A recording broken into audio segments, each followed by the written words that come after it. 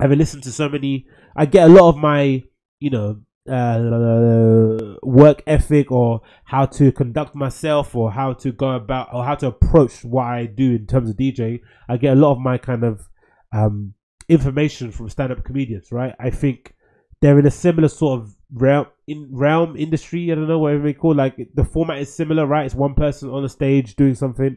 Um, maybe the the kind of no, the format isn't. Maybe the overall aspect of how they deal with the industry is similar, right? Um, how to kind of get well known in the comedy comedy circles, probably as long, if not longer, than the DJing circles, right?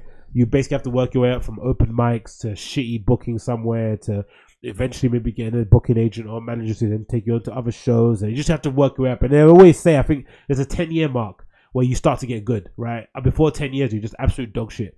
So, um, 10 years when you start to kind of get your wheels up, you know, you try to take, take your training wheels off and start to kind of cycle on your own. And I think the DJing world is kind of the same because both ent- both kind of fields have a very low bar of entry, right? You don't need to do much to be a DJ, right? You just have to have an interest in music and then kind of pursue that over a period of time, hone your craft, develop a sound, um, obviously have some sort of technical ability. Um, obviously, maybe arrive at a certain time, you know, maybe have a certain sort of perspective that no one else has, blah, blah, blah, blah. Eventually, you get to a stage where you want to get to. Comedians the same sort of realm. So I kind of take my, a lot of inspiration from them.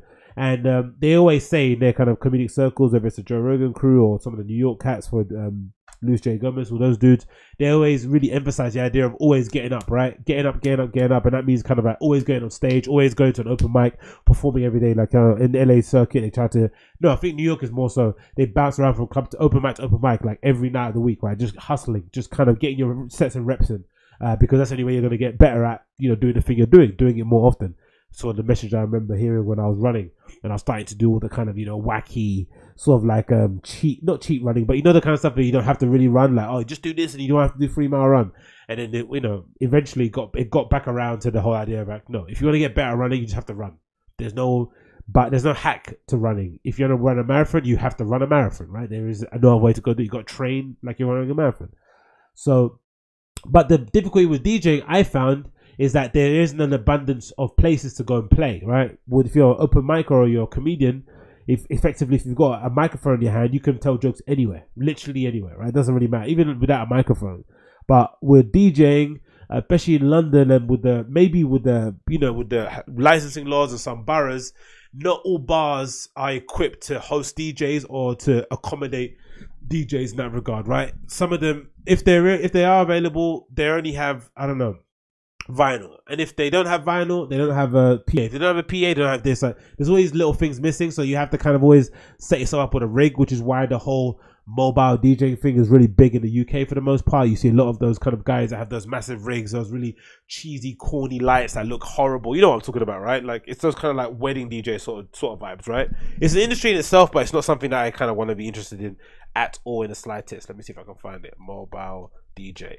I bet you're gonna see something super nice. It's like the you know the kind of dude that has the microphone in his hand and saying, "Come on, guys, let's do all that sort of nonsense, right?" So if you're if you're watching via YouTube, you'll see it now, right? This is a mobile DJ, right? It's sort of like this massive translucent box in the front, you know, with colors on it, loads of flashlights on top of it. It's just really like you know the quintessential school disco sort of DJ, right? And that's kind of what we do in the UK for the most part because we don't really have a lot of places that are set up to kind of host DJs. So if you want to go and play more places, you have to get your own rig. Now this is something I've kind of had in my mind.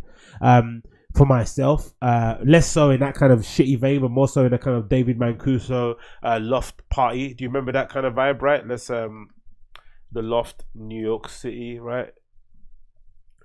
I have a kind of that sort of vibe where he used to kind of, um, if you're familiar with him, David Mancuso came up, I think around the 60s, 70s, right? He was kind of um, one of the pioneers behind, you know, uh, throwing disco parties in abandoned places or in, in weird places around New York. Uh, and then he kind of built out this place called the Loft that was seminal uh, location. I think they featured it in the Deuce as well. If you watch the Deuce um, TV series by James Franco, that kind of talks about the uh, prostitution industry and gentrification of New York uh, throughout the 60s, 70s, and 80s. I think if you check that show out, they featured the um, the Loft in there. But basically, David Mancuso's whole thing was he essentially brought his own bespoke entertainment audio visual audio kind of system there right you had one deck I think basically one deck like the best PA, uh, the best um, the best speakers, just everything really fine tuned to kind of really uh, bring uh, back the appreciation of just listening to great music on a great system. Nowadays, it's kind of divulged, it's kind of gone a bit awry, right? We're kind of more in awe of superstar DJs, but there has been a, there there is a still a, that kind of a, there is still that kind of vibe around with people like you know um what they called is it unknown uh, what are they called fuck. There's a few people that do parties around London. Body Hammer are a good example of it. They kind of have a bespoke system they kind of put out. But in general anyway great great great idea. And it's something I've kind of um, floated around with in my head right David Marcus that's the, the absolute legend of kind of getting my own uh, rig.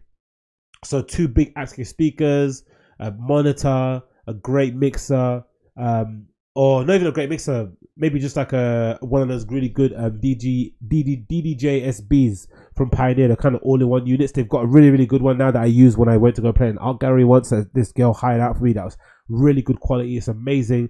It kind of basically is a good way of getting a two CDJs, one Pioneer Pioneer uh, MK 1000, whatever they are, in your house without having to shell out, you know, two grand on each kind of deck. You can kind of just get it all in one unit. But I was really, really thinking about the idea of kind of setting up my own kind of sound system. I think, let me see if I can get a sound system here.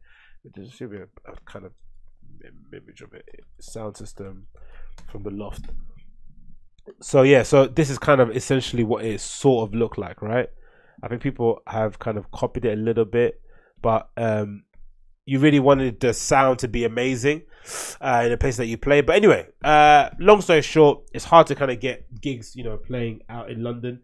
So I'm really thankful for you know the opportunity I've been given by the guys that own all the, the star the all star franchise around London. So big up those guys for kind of bringing me in. And yeah, so this Friday I'm going to be playing at Star Bethnal. It's going to be an interesting one because I think this is the kind of that that's their marquee one. I think from all the the stars that they have, I'm pretty sure that's that's the one that they really kind of like you know no this is this is the spot because um I've been told, I've been given a kind of, you know, a, a set list of, not sets, I've been told what kind of music I should be playing there, which I never get told beforehand. So I'm sure they're kind of aware of, like, you know, the kind of clientele that comes in there. I've been told to play from 10 to 2 a.m., which is different than what I do usually. So it's a very, very different vibe than what I'm kind of accustomed to. So it should be interesting to see how that kind of goes. But again, I'm really looking forward to it. I think it's going to be a good time.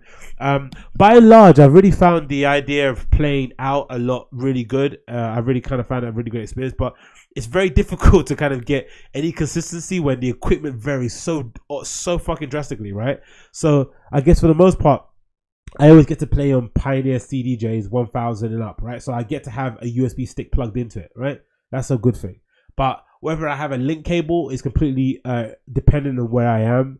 Whether or not the mixer is a mixer I'm used to playing on is completely dependent on where I am. It's all really varies, so it's very hard to kind of so you really have to. I'm really thankful that I spent a lot of time going through my set list and going through what I want to play. Like I kind of have a feeling. I think when you're, I think when you get to the higher echelons of a DJ, you tend to kind of go off of the vibe. But I tend to have a bit of a structure where I have, I have like 35 or 50 songs that I want to play for an intro. I'm not gonna play all of them, but the general sort of vibe. And then the same for the middle, and the same for the end, right? I've got same for the peak, same for the close. Um, and I usually kind of like steer my set around that kind of block. But it's hard to kind of. Um, I would hate to think what would happen if I didn't have that at all. If I had just like nothing, if I just went into it completely like naked and I went just to test how I am when I went in there, I would hate it. I would hate it. So I'm really thankful that I kind of get to kind of do those things beforehand. But um, it kind of makes my sets a lot more easier to kind of uh, have a bit of flow, have a bit of order. Because when you get in there and you just have no idea what the mix is going to be like. The other day, at the Heathcote Star playing on a Vestax mixer, which the first time I've ever touched one in my life, right? I've never touched a Vestax mixer in my life ever.